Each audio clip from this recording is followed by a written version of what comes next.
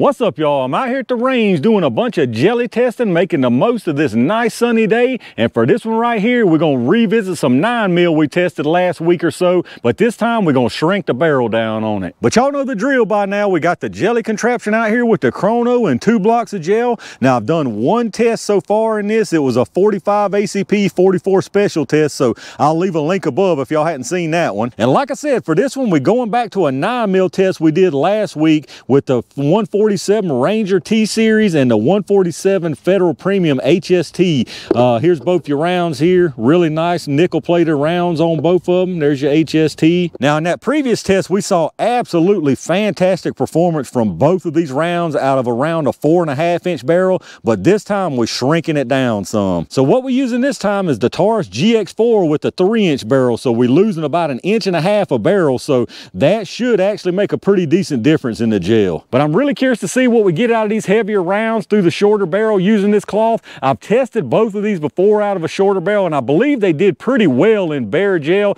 Now personally, I've talked about it in the past, I probably wouldn't use 147 in this short barrel, but I am curious to see how they do. So let's get this stuff set up and let's check them out. All right, let's check out some speeds. I'm gonna do a five round average from each one. We're gonna start with the HST first. I honestly don't remember what the speeds were from that previous test, but I'll put them in here when we get to the data part. Well, let's see what we do out of this three incher. Got 922, 929, 934, 921, and 912 so seem pretty consistent all but maybe the last couple. Let's go check that average. All right so our five round average on the hst is 923 feet per second. Let me reset this and let's check out them t series all right, let's check out these T-Series. Now, the box velocity on these T-Series is claiming 970. Now, obviously, that's out of a longer barrel than this, but, and I can't remember again what those other ones were running, but I'll put the info in here. So let's see what this three incher can do with the T-Series, y'all. Got 905, 907, 913,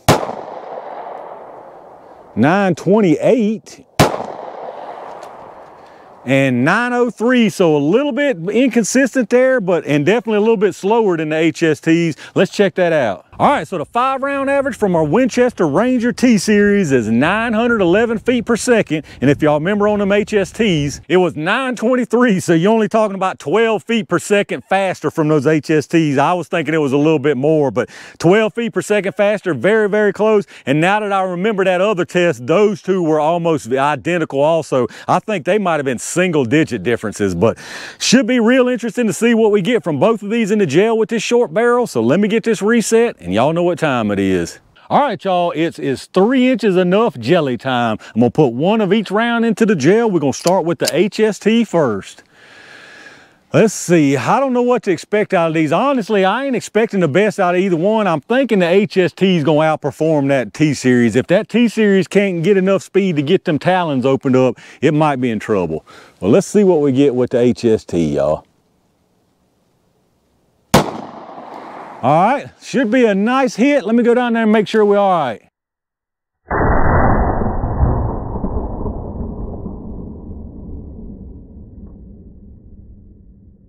Well, so far from what I can see, I'm getting proven wrong down there. Looks like that HST did really well. We just did get a good one on that though. It started curving down, but it didn't get into the bottom down there. So we all good. Let's see if I can put this T-Series up above it. See what we get.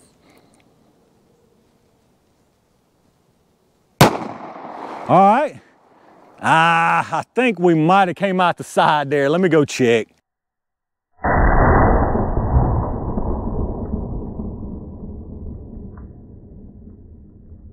All right, y'all, let's take a look at what we got here. Unfortunately, it went pretty much how I figured it might go. So on the bottom here, that's your HST. You can see when as soon as it comes in, it obviously started expanding. Nice disruption, nice wound channel there, a little spiraling action going on. Carries on through this first block and stops right down there, barely right at the bottom. Like I say, it didn't get into anything on the bottom. It's just like a bubble kind of right there. And you can tell it was at the end of its travel. Just the way the little ends of that wound channel are, you can just tell, like I say, it was at the end of its travel. Now, from what I can see, it's also got some pretty nice expansion on it to be coming out of that three inch barrel. And then we come to our T-Series, and this one went how I was afraid it was gonna go. It completely stayed in here. I just saw some of the gas escaping from the middle here.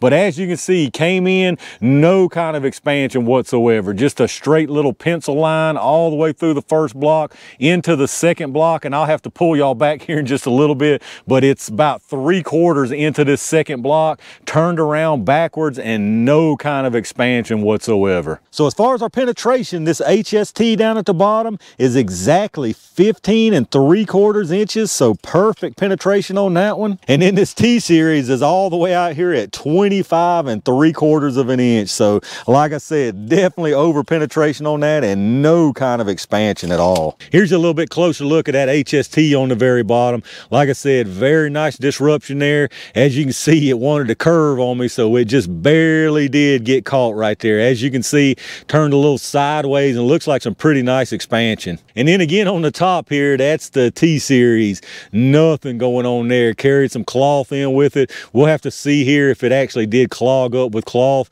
but there it is sitting backwards. No expansion at all on it.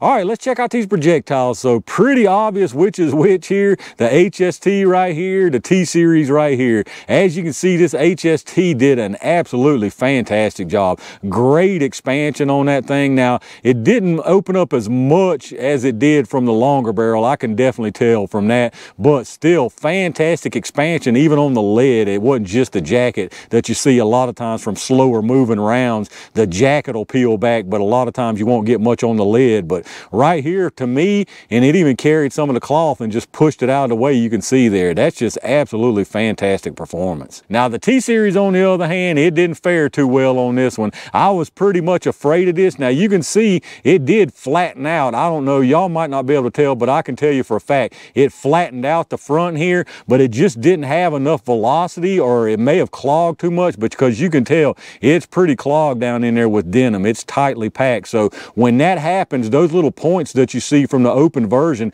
they're actually folded down inside there like an inverted fold. And if those things can't start folding out and push that cloth out and clean it out, that's what you get right there. And that's what I, what I was afraid of. And that's one of the reasons, like I say, I wouldn't personally carry this 147 in a shorter barrel like that. Now, those 127 plus P pluses, those might be a different story. And that might be something I need to come back and check out. But anyway, let's get us some measurements on these things. So obviously they both started at 147. This T-Series here, exactly 147. 147 on the dot from that one. The HST here, is 147.6. So it picked up a little bit of cloth along the way. You can tell maybe tolerances in the manufacturing, but whatever the case, it's a little bit heavier than what it claimed. Now, as far as expansion, obviously this T-Series got none, but we'll get the base size anyway. We got 354 and 355. So apparently they're at least loading the right size projectiles for us. And then for the HST here, you got 569, 537, and 577. So some pretty nice expansion out of that HST, especially to be coming out of a short barrel. But there you have it, y'all, the 147 grain HST and Winchester T-Series. Pretty much what I expected to see here. I thought this T-Series might clog like this and not be able to open up, and that's exactly what happened. The HST, I figured it would still do good. Now, I have to say, it did a little bit better than I thought it might. So, again, the HST, I've said it time and time again, these things are absolutely fantastic rounds. In my opinion, they're probably the best of the best 9 millimeter expanding round. All right, y'all, that's gonna wrap it up for this heavy nine mil short barrel test. Again, this went pretty much the way I figured it was gonna go. Uh, I personally wouldn't run the 147s in those short three inch nines like that. Even the HST, I would fall back to a 124. Even though that 147 HSD T did a fantastic job out here, you're still basically guaranteed a good performance out of the 124. But y'all let me know what y'all's thoughts are. Do some of y'all carry these 147s and do you carry them in a shorter barrel like a three inch like this? And after the results that you saw here today, is that something you might change your mind on? Let me know down in the comments what your thoughts are. If you did enjoy this video, reach down and hit that thumbs up button, subscribe to the channel, and make sure you click that bell notification icon so you can hopefully get notified when I upload new stuff. Take a second like I always ask and check out the affiliate links down in the video description. If you shop through Amazon, hit up that storefront link down there. You'll go straight through Amazon like normal from there. It don't cost you any extra money and anything you buy anywhere on Amazon, I get a kickback from them towards the channel. Same goes for those Axil links. If you're in the market for some really nice ear pro, check out those links down there and you can save a pile of money instead of clicking straight to their site. As always, I appreciate all my Range Gang members and every single one of y'all out there for supporting the channel like y'all do. I got a ton of good stuff headed y'all's way, so make sure you stay on the lookout for that. And in the meantime, stay safe, stay prepared, and I'll see you soon.